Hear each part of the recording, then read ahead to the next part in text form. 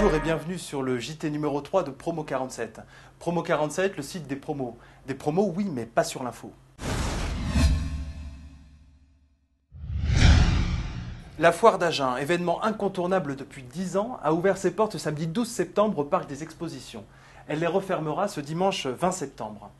Cette dixième édition offre à ses nombreux visiteurs une exposition de plus de 1000 répliques du musée du Caire, retraçant l'histoire de l'Égypte et de ses pharaons.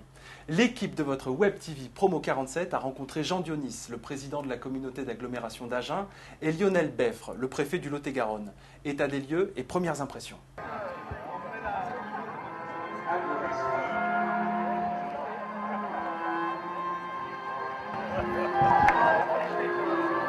Dix ans, ça se fête.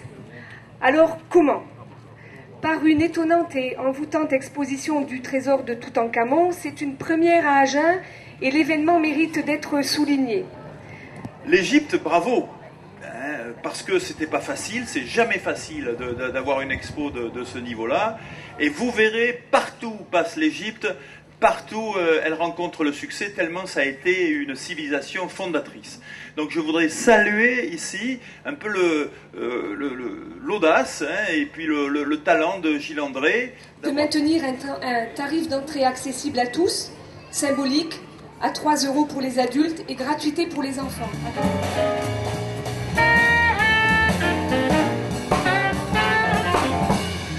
Et c'est une vitrine qui est offerte à tous les exposants sur la vie économique à Genèse et le Tégaronnais. La grippe A a déjà fait beaucoup parler d'elle. En bien, en mal, la rédaction de Promo 47 a été sensible à vos nombreuses questions posées via notre boîte mail. Faut-il vraiment s'inquiéter ou simplement se tenir prêt à affronter une grippe qui n'a rien d'extraordinaire? La grippe n'est-elle pas un excellent remède à la crise oubliée pour l'occasion? Pour vous répondre, la rédaction de Promo 47 est allée poser vos questions à Jean Drapé, qui occupe une double casquette, médecin généraliste et maire de Fouléronne, et à Corinne Trémont, pharmacienne à Agen. La particularité de cette grippe, c'est son extrême contagiosité par rapport aux grippes saisonnières, mais a priori, elle n'est pas plus virulente que l'autre grippe. Alors je pense qu'il y a tout un moment euh, médiatisé là-dessus très important. Euh, pourquoi Est-ce que c'est pour essayer de vendre davantage de Tamiflu, essayer de vendre davantage de vaccins? Est-ce que c'est pour euh, essayer de passer sous silence d'autres choses? Je n'en sais rien. Bon, c'est vrai qu'aujourd'hui, H1N1 n'est pas aussi euh, virulent qu'on le dit. Il est même, euh, à la limite, presque moins virulent que celui de la grippe saison- saisonnière.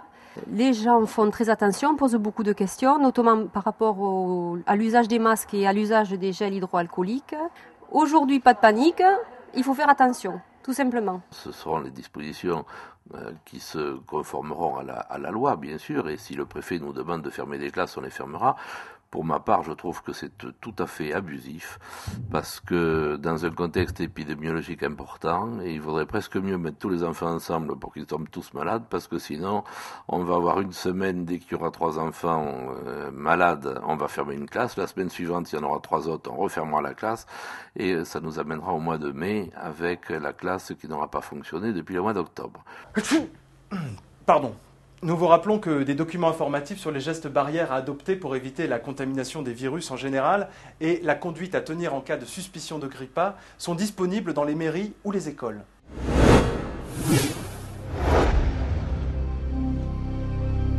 En clôture de la troisième journée de Pro D2 ce dimanche 13 septembre, Agen recevait Aurillac. Le Sporting Union Agen s'est imposé 21 à 6.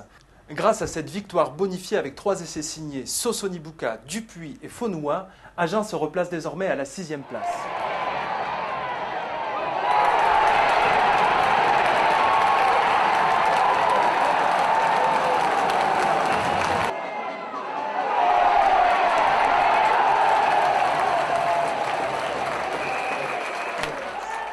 À noter tout de même que le score flatteur ne représente pas la physionomie du match. Les intentions de jeu étaient à Genèse, mais les nombreuses fautes techniques n'ont pas permis de tuer le match. Encore des leçons à tirer avant la prochaine rencontre qui voit Agen se déplacer à Auch le 19 septembre.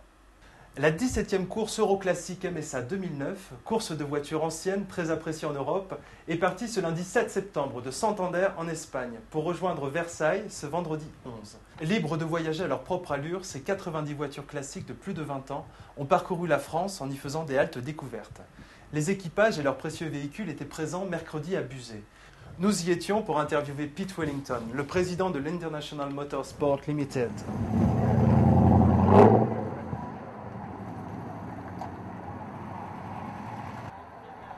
Hello, welcome to the MSA Euroclassic 2009 visit to Bouzet.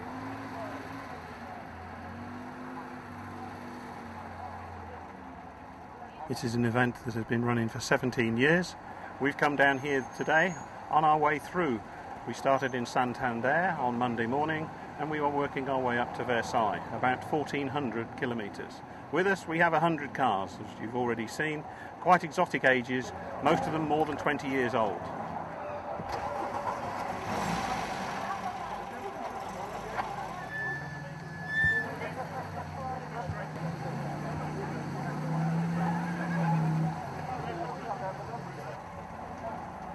Uh, Mrs. Cruella, can you say a word? No. Speak to my husband. Merci. N'oubliez pas que depuis quelques jours ont commencé les grandes foires au vin dans la grande distribution à Genèse. Même si les grands crus sont déjà partis, il vous reste encore de très bons coups à faire et de grands plaisirs à partager. Des petits vins locaux aux particularités que vous ne connaissez pas encore, en provenance des quatre coins de l'Hexagone ou de la planète, sont encore à découvrir avec modération et à acheter à des prix qui vous feront vite oublier les grandes cuvées que vous avez loupées. Le centre-ville d'Agen fait désormais partie de ce que l'on appelle la zone 30. Pour assurer une meilleure sécurité routière, une réduction des accidents, une diminution de la pollution de l'air et du bruit, tous les véhicules ne doivent plus dépasser les 30 km/h. Jusqu'à la fin du mois de septembre, l'accent sera mis sur la prévention et l'information, mais à partir du mois d'octobre, les sanctions tomberont. Au 146 boulevard de la Liberté à Agen s'est ouvert la semaine dernière un nouveau restaurant japonais, le Iki Sushi, spécialisé dans la vente à emporter.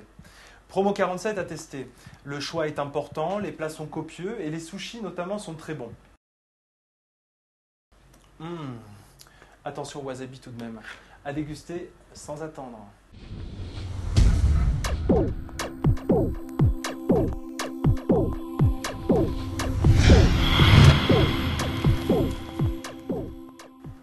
Le Petit Bleu, le célébrissime quotidien de presse à Genève, a fêté en grande pompe ce vendredi 11 septembre son 95e anniversaire. À cette occasion, quelques milliers d'exemplaires avaient été imprimés spécialement sur papier bleu. Un bleu bleu ou un bleu blanc? Longue vie à la respectable dame de l'info à Genèse et vivement le centenaire. Les journées du patrimoine se dérouleront les 19 et 20 septembre. L'édition 2009 s'approprie le patrimoine, le rend accessible et le fait vivre sur l'ensemble du territoire de l'agglomération à Genèse par une exposition itinérante. En effet, imaginez autour de deux axes, création et patrimoine, l'exposition est composée de 45 œuvres photographiques que vous découvrirez à travers le mobilier urbain. Son objectif est de mettre à l'honneur les trésors, parfois insoupçonnés, de nos communes. Miss France 2008, Valérie Beg, dont la dame au chapeau n'a pas obtenu la démission, sera présente ce dimanche 20 septembre à 13h à l'hippodrome d'Agen pour une journée autour de l'élégance dans la course.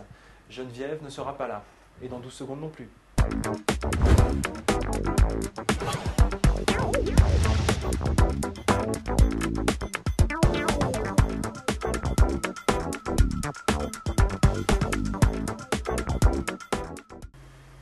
Finir dans vos agendas deux vides-greniers dimanche 20 septembre à Agen. Le premier de 8h à 18h sur le site de l'ENAP, l'École nationale d'administration pénitentiaire. Et le deuxième organisé par le conseil de quartier 19 près de l'école Élysée Reclus. En attendant lundi prochain à 20h précise pour notre JT Hebdo qui passe en revue l'essentiel de l'actualité en Lot-et-Garonne, passez une très bonne semaine. Promo 47, des promos, oui, mais pas sur l'info. D'ailleurs, en ce moment même, une caméra de Promo 47 est peut-être derrière vous. Merci, bonsoir, à lundi prochain.